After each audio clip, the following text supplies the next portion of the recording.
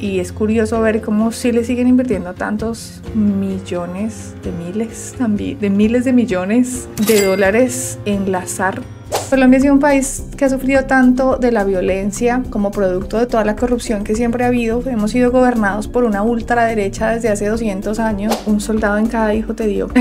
Yo sé que los mexicanos se toman muy en serio este tema de la defensa no puedo creerlo. No tengo ni idea. A ver, a ver, yo pienso, ¿quién podrá ser el primero? Bloqueos y sanciones económicas impuestas por un solo país. Sí, Estados Unidos. Ah, como hicieron en Colombia con el plan Colombia, donde eh, se le permitió la entrada a los militares estadounidenses con esa misma excusa y que hoy somos el país en Colombia que más bases militares tiene. porque me ponen estos países en los que tengan que hablar de los temas políticos porque es que está influenciado todo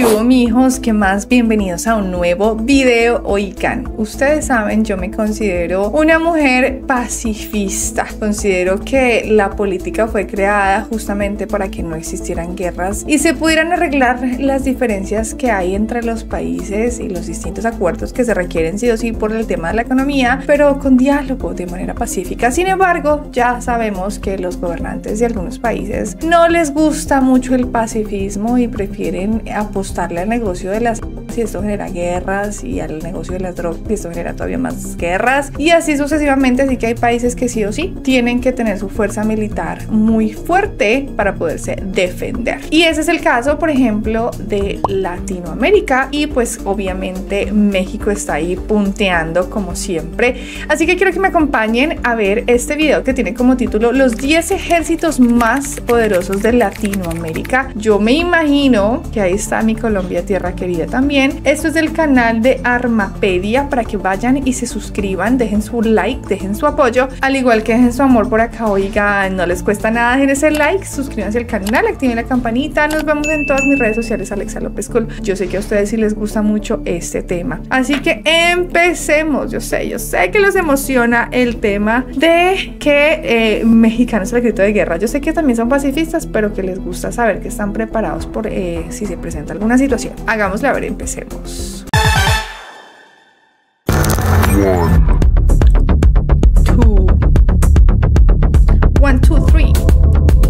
Después de una exhaustiva investigación, estoy emocionado de presentarles a las 10 Fuerzas Armadas más poderosas de América Latina de cara a 2024. Este video siempre genera gran debate en los comentarios, así que permítanme aclararles algunos puntos. Más allá de basarnos únicamente en cifras del ranking de Global Firepower, hemos ido más profundo en Armapedia. No se trata solo de contar soldados, tanques y aviones. En nuestro análisis hemos considerado una amplia gama de factores, incluyendo la experiencia en combate, la cantidad de personal activo, el actual gasto en defensa y en la adquisición de nuevo armamento, así como el grado de modernización, la capacidad de la industria militar y, por supuesto, un toque de nuestro propio análisis e interpretación de la guerra y el armamento. Los acontecimientos recientes, como el conflicto en Ucrania, nos han demostrado que el potencial de un ejército no se mide solo por números, sino también en experiencia, logística, táctica, ingenio y estrategia. Quiero enfatizar que este ranking no busca incentivar rivalidades, sino ofrecer una visión actualizada de las capacidades, el armamento, la evolución en defensa y las realidades militares de nuestros países. Es crucial reconocer que existen numerosos factores que determinan la eficacia de las Fuerzas Armadas de un país latino, pero ya fue mucha explicación. Te habla Jorge Rojas. Bienvenido a Armapedia.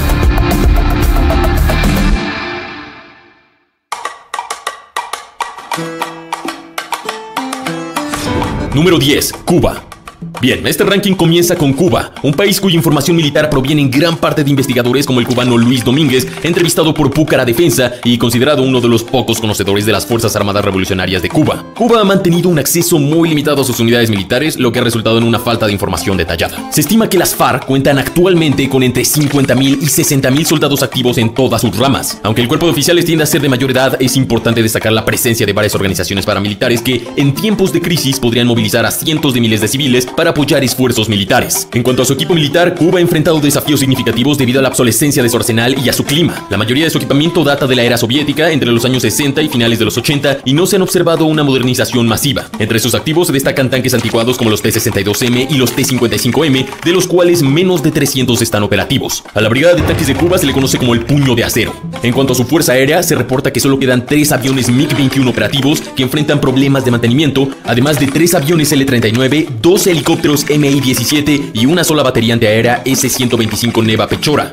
Lo que probablemente sí tengan los cubanos es artillería, la cual sería clave para repeler una invasión, pero su éxito dependería de muchos factores. A pesar de estos desafíos, Cuba mantiene fuertes alianzas con Venezuela, Irán, Nicaragua, China y Rusia, lo que le permite acceder a cierto grado de apoyo y cooperación militar. Cuba, a pesar de los desafíos que enfrenta para modernizar su arsenal militar, sigue desempeñando un papel en el contexto militar de América Latina. Aunque el número de sus soldados es limitado, la experiencia de sus oficiales y las alianzas internacionales que ha forjado le han permitido mantener una posición significativa en la región. Existe el rumor de que China está buscando construir una base militar en Cuba o está intentando mantener algún tipo de infraestructura de inteligencia o militar en el país, pero esto aún no está confirmado ni es oficial, así que tomémoslo con pinzas.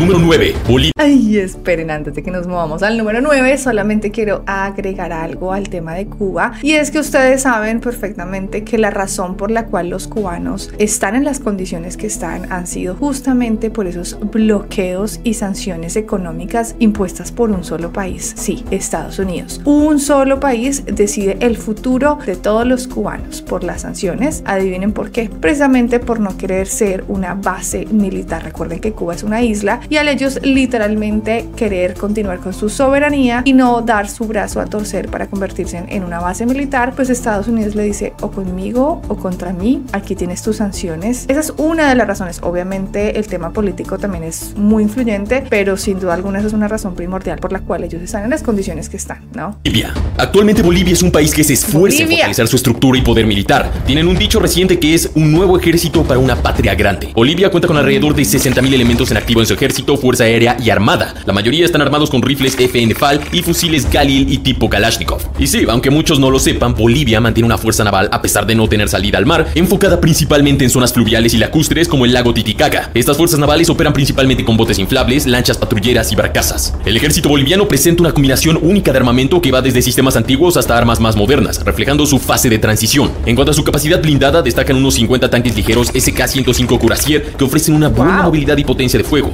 Además, en los últimos años, Bolivia ha recibido una cantidad significativa de donaciones de equipo militar, principalmente de China. Además, a mediados de 2023 ordenaron drones kamikaze de Irán. Más allá de su equipamiento, lo que realmente destaca de las Fuerzas Armadas bolivianas es su adaptabilidad y resistencia. Capacitados para operar en condiciones extremas como las alturas del altiplano o las densas selvas del Amazonas, los militares bolivianos son reconocidos por su resistencia y su habilidad para adaptarse a diferentes entornos. Esto les ha permitido desarrollar una defensa que compensa la falta de tecnología militar con tácticas de guerrilla y una profunda comprensión de su geografía.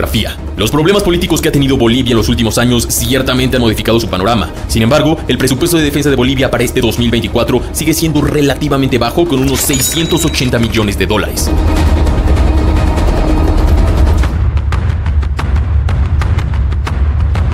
Número 8. Ay, esperen, porque cada vez que pare un país yo tengo que decir algo, porque si no, entonces, ¿para qué andamos ustedes y yo aquí? Miren, con respecto a Bolivia, ¿se acuerdan ustedes que no hace mucho tiempo eh, a Bolivia se le intentó dar un golpe de Estado con Evo Morales, donde justamente el gobierno mexicano, es decir, el presidente Andrés Manuel López Obrador, le dio asilo político a Evo? Adivinen por qué. Pues sí, señores, por litio, por recursos naturales. Adivinen, adivinen quiénes. Pues Estados Unidos, obviamente financiado, eh, ya saben, por los empresarios que necesitan estos recursos para las nuevas tecnologías, el nuevo oro blanco. Así que, por supuesto que Bolivia necesita un buen grupo arsenal, ¿no? Y de no solamente militares, sino armamento. Y la realidad, muchachos, nadie quiere la guerra, pero hay que defenderse. Ecuador. Ecuador fue un país difícil de analizar. ¿Ecuador? Sin embargo, considero que tiene este puesto bien ganado en cara al 2024 por varias buenas razones. Tiene aproximadamente 70.000 elementos militares activos en sus diversas ramas. Los rifles están estándar de las fuerzas ecuatorianas van del Khalil, así como el M16, el clásico HKG-3 y HK-33, y raramente se ven rifles Tabor y SIG 516. Su flota blindada incluye alrededor de 100 tanques AMX-13 y 20 vehículos tácticos Cobra 2. Ecuador cuenta con 9 cazabombarderos Atlas Cheetah C, variantes avanzadas del Dassault Mirage 3, conocidos por su eficacia en roles de caza e interceptación. Además, los Embraer Super Tucano desempeñan un papel crucial en la Fuerza Aérea Ecuatoriana, especializándose en misiones de interdicción aérea. Desde una perspectiva personal, puedo observar que Ecuador cuenta con soldados altamente capacitados, sobre todo en sus fuerzas especiales como los número 29 CENEPA y los IWIA. Esto se ha reflejado en su desempeño en competencias internacionales como Fuerzas Comando, donde Ecuador frecuentemente se posiciona en lugares destacados. Más allá de la formación convencional, las recientes oleadas de actividades criminales están forzando a las Fuerzas Armadas ecuatorianas a adquirir una experiencia táctica y operativa mucho mayor. Los estados de excepción que han puesto, parecidos a los del Salvador, son un ejemplo de ello. El nuevo presidente Daniel Novoa y el jefe del Comando Conjunto Jaime Vela enfrentan el desafío de contener la expansión del crimen en Ecuador. Además, una de las estrategias notables es la fortaleza de su alianza militar con Estados Unidos. Hay especulaciones sobre la posibilidad de que Ecuador permita la entrada de personal militar estadounidense en 2024 para llevar a cabo operaciones conjuntas contra el narco y bandas criminales. En un desarrollo reciente y crucial, Ecuador anunció una inversión de 3.500 millones de dólares en sus Fuerzas Armadas que se realizará desde 2024 hasta 2030 en colaboración con Estados Unidos. Esta inversión significativa es un claro indicador de que Ecuador está tomando pasos firmes hacia la modernización y fortalecimiento de su capacidad militar, la cual podría cambiar drásticamente en los próximos años.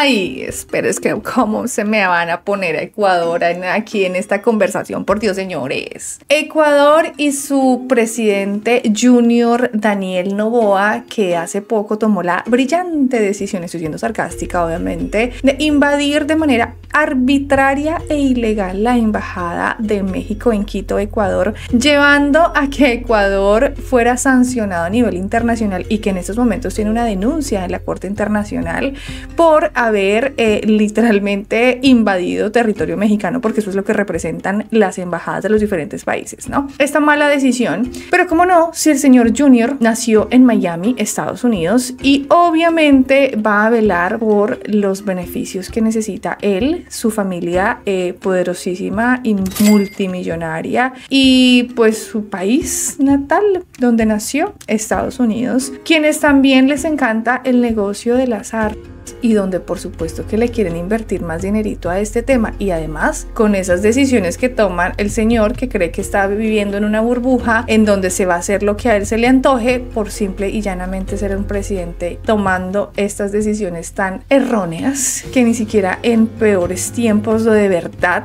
donde han habido conflictos entre países se ha tomado una decisión así. Pero ya sabemos títere de Estados Unidos además como siempre con la bandera de vamos a querer erradicar el narco así como hicieron en Colombia con el plan Colombia, donde eh, se le permitió la entrada a los militares estadounidenses con esa misma excusa y que hoy somos el país en Colombia que más bases militares tiene, pero el narco igualita. Nada más haciendo los comentarios. Es que ustedes saben que yo me pongo, me emocionan estos temas. Ya sé. 7. Venezuela. Venezuela ha sido un país interesante de analizar debido a su larga tradición militar y su postura política antioccidental. El país cuenta con aproximadamente 137 mil efectivos militares en activo, esto sin incluir a los grupos paramilitares conocidos como colectivos chavistas. En cuanto a su arsenal, los soldados venezolanos emplean una amplia gama de armas, desde el AK-103 hasta fusiles como el FN-FNC, el FN-FAL, variantes del M16 y M4 e incluso rifles FAMAS y el Steyr Oak. Esta mezcla de armamento de diferentes orígenes, tanto del antiguo bloque soviético como de Occidente, me ha parecido muy interesante. Destacan en su equipamiento avanzado sistemas de defensa como los antiaéreos S-300 y Buk M2A, además de una flota aérea semi-moderna que incluye 22 cazas Sukhoi Su-30 MK2 y 20 aviones F-16. En el frente terrestre, Venezuela se equipa con 70 tanques T-72B1 Ural, 81 tanques de batalla AMX-30 y 120 vehículos de combate de infantería BMP-3, mostrando una capacidad significativa en términos de combate y de defensa terrestre. A nivel internacional, Venezuela ha fortalecido sus lazos con países como Irán, Bielorrusia, Rusia y China. El interés expresado por Nicolás Maduro en septiembre de 2023 de unirse al BRICS podría repercutir notablemente en la economía del país y por ende en su inversión en defensa y tecnología militar, aunque este panorama se ve muy lejos de suceder. Las tensiones con Guyana que Venezuela considera el territorio del Esequibo como suyo, junto con las próximas elecciones presidenciales, sugieren que el gasto militar de Venezuela podría aumentar significativamente en los siguientes años.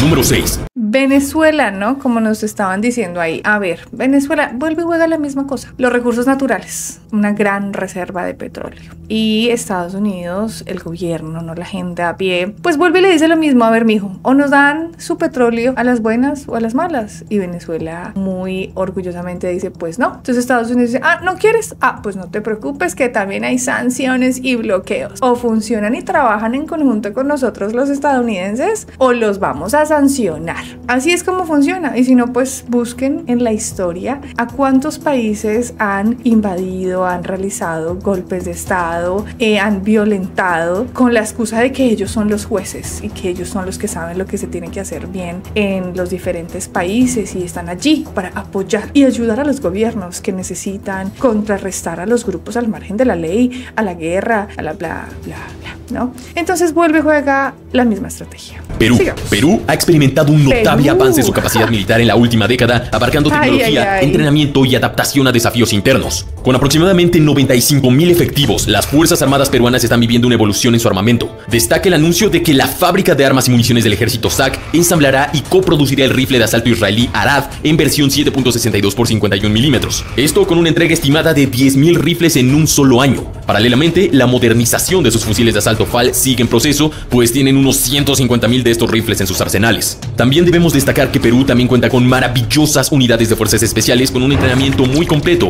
y entre estas destacan los FOES, el COPES, la AFE y la FEC. En cuanto a vehículos blindados, el ejército cuenta con 90 tanques de batalla principal T-55 y 61 AMX-13 de 105 milímetros, además de 20 AMX-13 Scorpion 2. En su fuerza aérea sí que tienen joyitas que, aunque antiguas, sí son destacables, como por ejemplo 12 casas Mirage 2000, 7 casas soviéticos MiG-29, 10 Su-25 Frogfoot y 10 helicópteros Mi-25 Hint. Además, la Marina de Guerra del Perú cuenta con 15 corbetas y fragatas misileras, 3 buques de asalto y 6 submarinos en estado activo. Estos que dije son solo una parte, realmente su marina es mucho más grande. Perú, con una geografía variada que incluye la costa del Pacífico, los Andes y la Amazonia, exige que sus fuerzas armadas estén adaptadas para operar en una amplia gama de entornos. Esto ha llevado al desarrollo de unidades especializadas en operaciones de montaña, selva y marítimas. Además, Perú mantiene relaciones militares con varios países, especialmente con Estados Unidos, participando en ejercicios y entrenamientos conjuntos. Hoy por hoy, Perú tiene problemas internos con bandas criminales originarias de países como Ecuador, Venezuela y Colombia, así que es probable que sus fuerzas sigan ganando experiencia de combate en años venideros. Para 2024, Perú planea un presupuesto de defensa de aproximadamente 3.400 millones de dólares, lo que sugiere una continua modernización y expansión de sus capacidades militares.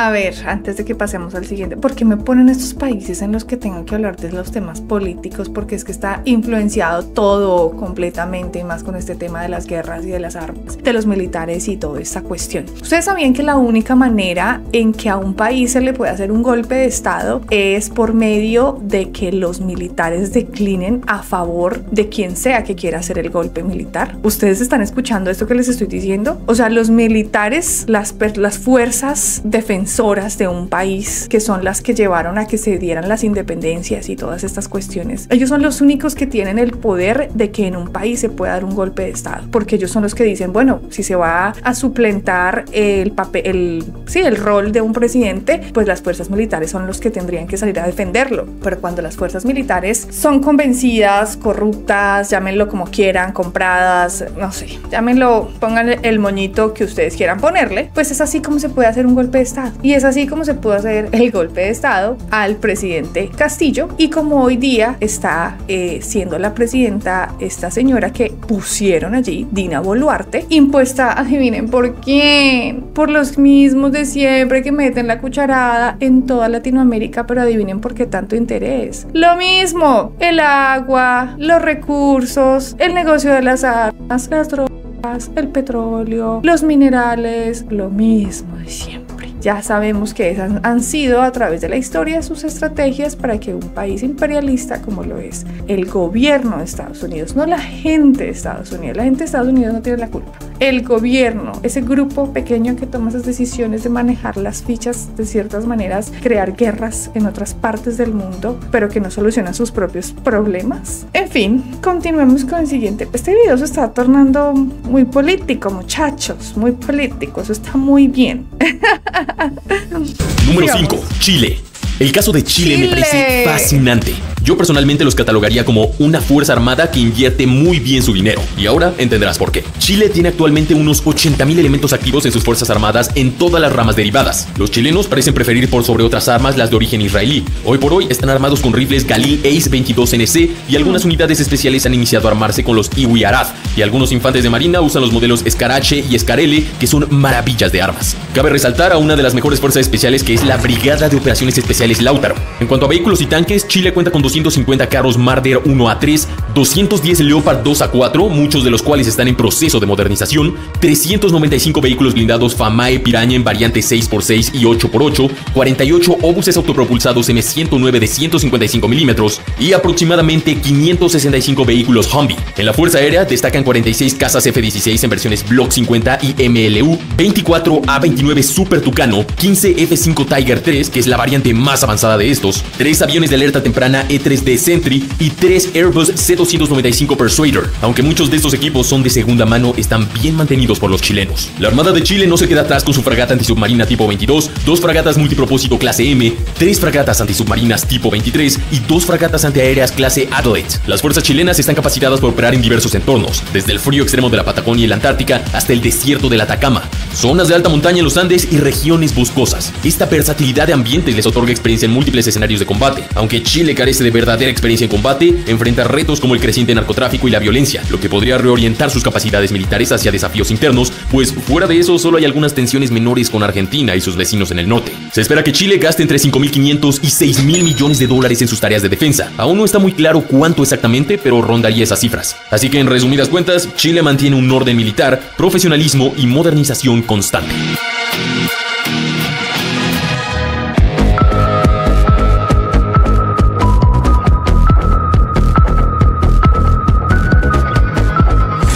A ver, Chile, con su presidente Gabriel Boric, que tiene un lineamiento izquierdista, pero que eh, lo he notado un poco mmm, tibiecillo en algunas cuestiones. Eh, ¿Qué indica esto? Algo diferente, se supone, para Latinoamérica. Aún así le invierten resto de dinero al armamento y, y a todo este tema, que sí, claro, es importante porque, repito, pues toca defenderse, pero que uno esperaría que, que chévere y todo, ¿no? Pero un poquito más en otras cuestioncillas, la educación. Me, me quedo pensando en dónde, en qué momento va a aparecer Colombia, porque ya vamos en el cuarto. No me digan que en Colombia le, le invierten tanto dinero a las fuerzas militares que vamos a estar en el top 3.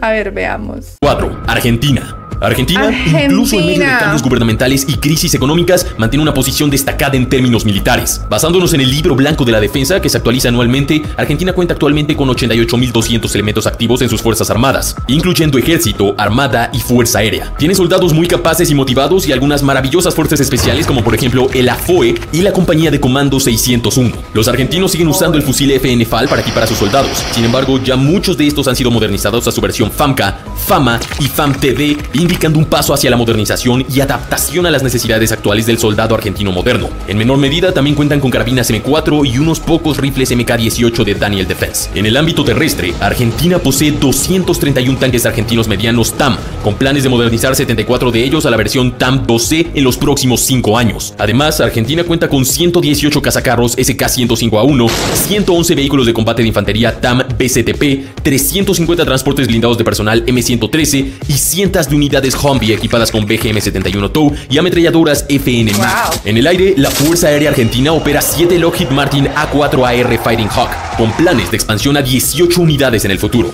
También dispone de 9 Embraer E EMB 312 Tucano, unos cuantos aviones IA-63 Pampa 3 y 6 Lockheed C-130H Hércules modernizados. La posible adquisición de 24 F-16 de Dinamarca y 4 aviones P-3 de Noruega por parte de la Fuerza Aérea Argentina podrían transformar significativamente su capacidad aérea. De ser así, probablemente Argentina subiría su lugar en este ranking de manera radical, pues el poder que le dan 24 aviones F-16 es absoluto e innegable. Wow. La Armada Argentina se fortalece con 4 destructores MECO 360, 6 corbetas MECO 140, un patrullero oceánico OPV-80 y 3 corbetas clase A-69. Aunque Argentina enfrenta actualmente desafíos económicos y estratégicos, su compromiso con la modernización y la inversión en defensa, con un presupuesto de aproximadamente 6.559 millones de dólares, sugiere una voluntad de mantener y mejorar su capacidad militar. La situación bajo el nuevo gobierno de Javier Milei y las estrategias económicas futuras serán cruciales para determinar el rumbo de las Fuerzas Armadas argentinas.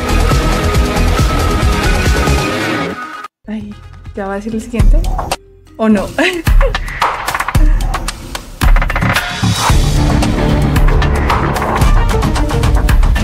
Ay, sí, sí, sí, sí, antes de que nos pasemos, yo no puedo creer, no me digan que Colombia ni va a estar, no quiero ni ver todavía.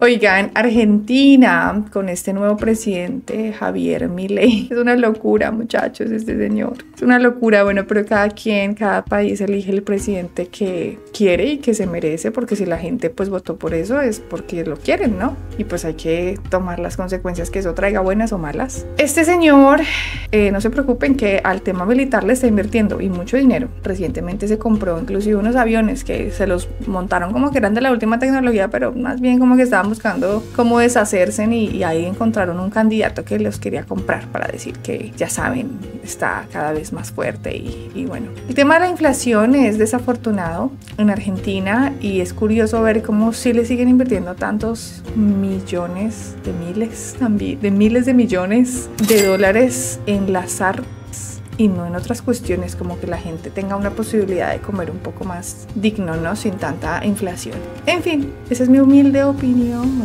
Continuemos. Número 3. México. Vamos con México. México. No, si México es el 3, Colombia no puede estar. Marica, Colombia no está. Perdón, la grosería.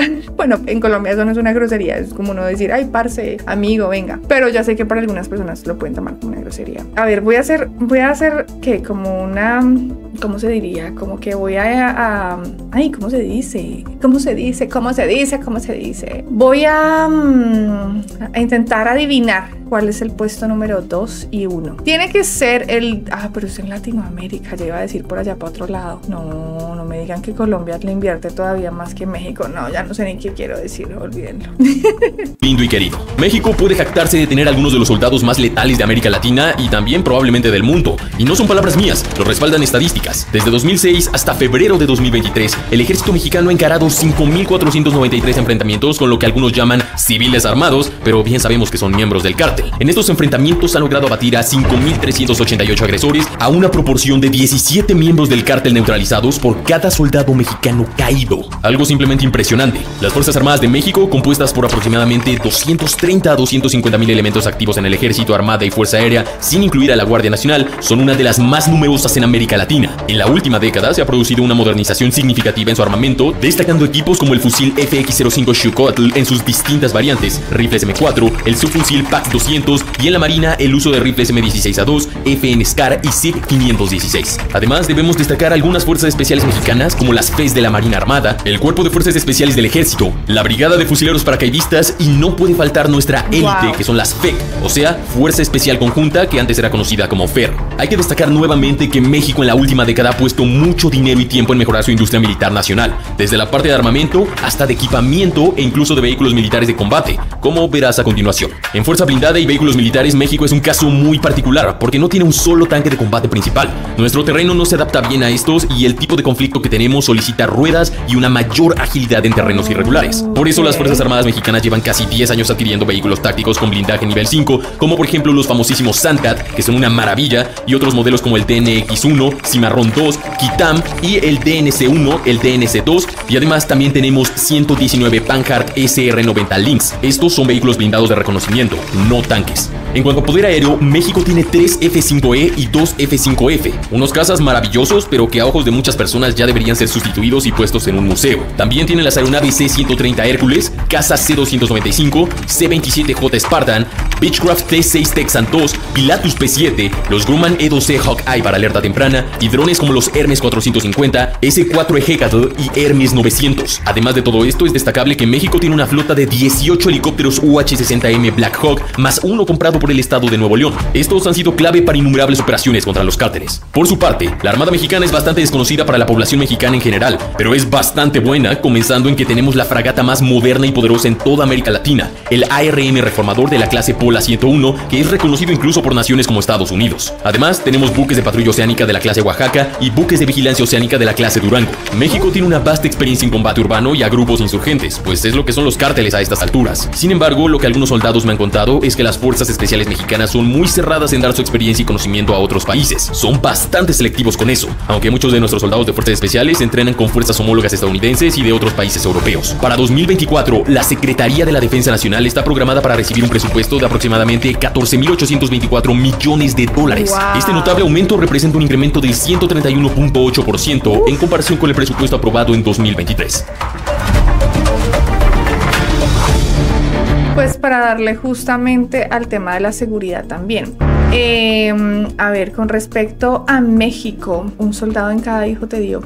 Yo sé que los mexicanos se toman muy en serio este tema de la defensa, además de que les ha tocado pelear contra Raimundo en todo el mundo y también he sido testigo, bueno, testiga, suena raro, de cómo se llevan a cabo em, el desfile militar. Acá les dejo los videitos del desfile militar. He ido en dos ocasiones y la verdad es que es impresionante el orgullo con el que marchan y cantan las canciones y muestran su fuerza los paracaidistas. La verdad es que es algo impresionante. Sin duda alguna también le invierten mucho dinero. Es que hay un tema de seguridad difícil, pero además de eso, eh, pues necesitan siempre estar preparados con esos vecinos que tienen eh, en el sur, con esas intenciones injerencistas eternas, ¿no? Así que, a ver, ¿quién será el segundo? Hagámosle.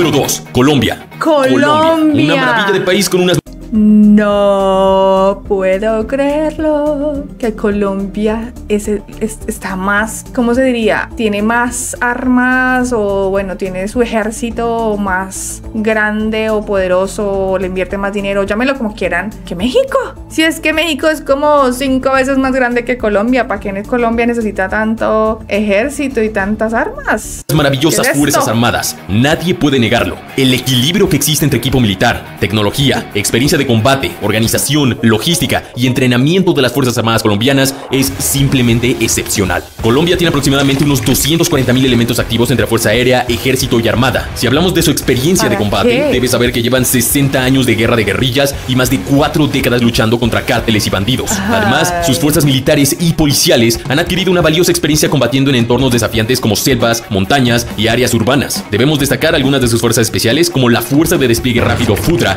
la Agrupación de Fuerzas Especiales Antiterroristas Urbanas AFEUR, miembros de la Escuela de Lanceros y el Comando Conjunto de Operaciones Especiales SECOES. La industria militar colombiana, liderada por Indumil, es crucial en mantener las fuerzas bien equipadas y actualizadas. Esta industria militar produce el fusil estándar Galil Ace en diversas variantes, además de otros armamentos, incluyendo bombas de 250 y 500 kilogramos, granadas, proyectiles de mortero, lanzagranadas, morteros, pistolas, escopetas y municiones en distintos calibres. Las compañías nacionales de drones y de alta tecnología también juegan un papel importante en la estrategia y logística de defensa colombiana. En cuanto a vehículos militares, Colombia cuenta con 120 unidades del EE-9 Cascabel, 32 unidades del LAF-3 con 50 adicionales en camino, 39 M1117 Guardian y 180 vehículos Humvee, muchos de ellos modernizados y con blindaje reforzado. Además, el ejército colombiano ha iniciado un importante proceso de adquisición de sistemas de artillería autopropulsada Atmos de 155 milímetros para fortalecer sus capacidades de artillería contra las guerrillas. En cuanto a su fuerza aérea, debemos destacar los 10 cazas IAI Kafir que le han dado pesadillas a los guerrilleros y los A-29 Super Tucano. Pero Colombia tiene algo que no toman en cuenta muchas personas, una flota de 90 a 100 helicópteros UH-60 Black Hawk, pero de los cuales 12 son la versión super moderna AH-60L Arpía 4, superando de esa manera significativamente la cantidad de Black Hawks en México. Muchos de estos helicópteros están armados hasta los dientes, lo que amplifica su capacidad en el contexto de los conflictos que enfrentan y esa es en parte la razón por la que están en el segundo lugar. En su armada, Colombia cuenta con corbetas misileras clase FM-151 como el ARC Almirante Padilla y buques patrulleros oceánicos PZE-46 como el ARC 20 de Julio. Y espera porque esto se pone más picante. Colombia ha adquirido el sistema Barak MX. Se trata del sistema de defensa aérea más moderno que tiene un país latinoamericano. En cuanto a la renovación de su flota aérea, Colombia está considerando los cazas F-16 y los Dassault Rafale, inclinándose hacia la opción francesa, aunque todavía no hay una decisión definitiva por parte de su gobierno. Aunque todavía no hay cifras exactas disponibles, se estima que el presupuesto de defensa de Colombia para 2024 podría rondar los 10 mil millones de dólares. Esperen, paren un momentito. Yo sé que esto es un video de los ejércitos más poderosos y de las armas y que, wow, excelente. Pero pues yo soy colombiana, yo crecí en la realidad de venir de una familia muy necesitada, voy al punto. No hay recursos para la educación, pero sí hay recursos para esto.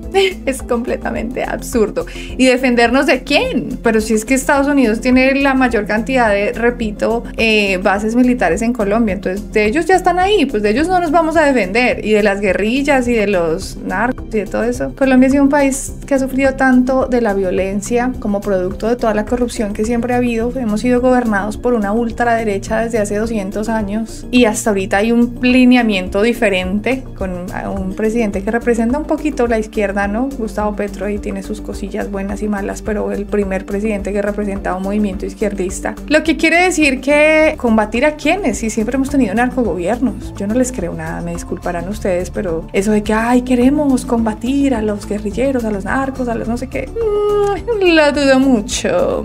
Pero bueno, sigamos con el siguiente. No tengo ni idea. A ver, a ver, yo pienso, ¿quién podrá ser el primero? Estoy viendo aquí el mapita que tengo enfrente. ¿Brasil? ¿Por su territorio? A ver, por decir algo, hagámosle.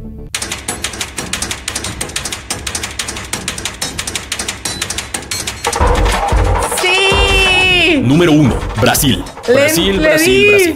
Este país ha sido la fuerza militar más poderosa en América Latina desde principios de los 90. Más de tres décadas de predominio no solo regional, sino también global. Primeramente, Brasil se jacta de tener el personal militar activo más numeroso de Latinoamérica, sumando alrededor de 360 mil efectivos repartidos en sus tres ramas, ejército, marina y fuerza aérea. Destacamos algunas de sus fuerzas especiales como el Grupamento de Merguladores de Combate GRUMEC, los comandos anfibios Command y el primer batallón de fuerzas especiales. Los soldados brasileños están equipados con una variedad de rifles de asalto, destacando el Imbel IA2 de producción nacional, rifles M16A2, carabinas M4 y en menor medida el HKG36. La industria militar de Brasil, liderada por Imbel y otras empresas como por ejemplo Embraer, Avibras y MacG Defensa, desempeñan un rol crucial similar al de Indumil en Colombia, garantizando así una producción de armamento autónoma y de muy alta calidad. En cuanto a vehículos blindados, Brasil posee 128 tanques Leopard 1A1 y 230 Leopard 1A5, además de 530 vehículos blindados 6x6 Guaraní y más de 550 M113 de origen estadounidense. En artillería destacan aproximadamente 150 obuses autopropulsados M109 de 155 milímetros y unos 90 lanzacohetes Astros 2 de fabricación nacional, lo que los convierte en la fuerza de artillería más poderosa de América Latina. En el aire, Brasil impresiona con su flota de 7 avanzados y salitos de fábrica Saab F-39 Gripen de origen sueco, y además hay 33 más en construcción y proceso de entrega. Pero eso ya le da a Brasil una de las mejores fuerzas aéreas de América Latina. Complementan esta fuerza sus 40 F-5EM modernizados y 5 A4 Skyhawk igualmente modernizados. Esto junto con 45 aviones AMX International Ghibli. Brasil también dispone de drones avanzados como los Scan Eagle, Hermes 450 y 900 y los IAI Hero. Ahora bien, nos vamos a su marina. Debemos destacar sus 5 fragatas clase Niterói, su fragata tipo 22 y su avanzada fragata clase Tamandaré que se entregará hasta el año 2025. Brasil tiene 7 submarinos activos, pero cabe destacar que los brasileños tendrán el primer submarino nuclear de América Latina, llamado SN Álvaro Alberto clase SN10. Este ya está en construcción desde noviembre de 2023 y se espera que se entregue a partir del año 2034. Brasil ha logrado avances significativos en su programa de misiles, desarrollando los antibuque Mansur y los misiles tácticos de crucero AVMTC. Estos desarrollos podrían convertir a Brasil en un proveedor clave de armamento en Latinoamérica. Sin embargo, el país enfrenta desafíos internos significativos debido al crecimiento de grupos criminales fuertemente armados y también sus tensiones fronterizas en Roraima con Venezuela desde la escalada de tensiones entre Venezuela y Guyana o la región de Esequibo comenzada en diciembre de 2023. Con un presupuesto de defensa proyectado entre 22 y 24 mil millones de dólares para 2024, Brasil se perfila como un actor clave en la seguridad regional, superando casi al doble el presupuesto de defensa de México. Si Brasil continúa fortaleciendo y modernizando sus capacidades militares, es muy probable que en los próximos años se posicione nuevamente entre los 10 ejércitos más poderosos del mundo.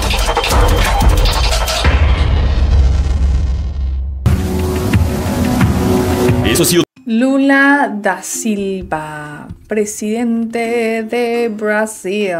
Presidente de Brasil también con un lineamiento izquierdista, que tiene muy buenas relaciones con México también. Obvio, por obvias razones. Brasil, Brasil con razón, claro, con razón, si es que tienen tremendo territorio que iban a ser los número uno en sus fuerzas militares. Y ahí estaban hablando, ay, ay, ay, ay, me iba a llevar el micrófono para el otro lado, pero me acordé que estoy hablando y necesito el micrófono. Eh, obviamente, eh, ahí especificaban también cómo es que mucho de este armamento proviene de Estados Unidos. Estados Unidos son los primordiales distribuidores en el negocio de las armas, donde tienen obviamente países donde se dedican a los mismos tipos de negocios como Israel, donde justamente Colombia acaba de romper relaciones con Israel porque Israel le proporciona a Colombia entrenamiento militar y diferentes mmm, instrumentos de guerra, llamémoslo de esa manera. Entonces, eh, pues por el lado de Israel ya no va a obtenerlos. Por el lado de Estados Unidos todo el tiempo, igual como les digo, están las bases militares. Oigan, he aprendido un montón.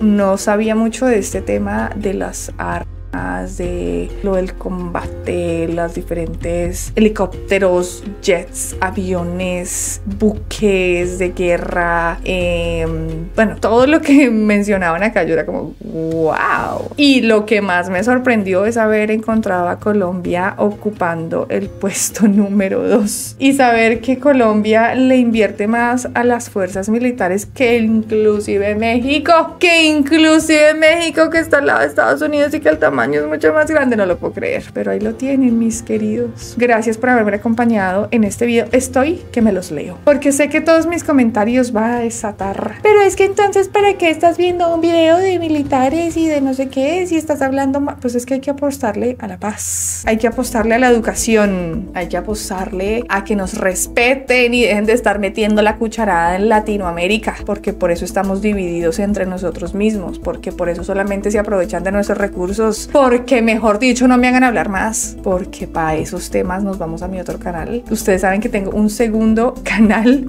que se llama Alexa López All, en el que hablo física y exclusivamente de política. Así que si a ustedes les gusta ese tema, vayan y me siguen allá en Alexa López All, porque esa es la razón por la cual conozco estos temas y me gusta darle siempre un tinte geopolítico a estas cuestiones. Mis queridos, gracias por haber estado conmigo en este video. Recuerden que si me quieren es muy sencillo. Lo único que tienen que hacer es dejen ese like, suscríbanse al canal activen la campanita. Los espero en todas mis redes sociales. Alexa López con mi corazón es mexicano, mi sangre colombiana. Nos vemos en un próximo video. Chao, pues mi hijos, háganle a ver, nos fuimos.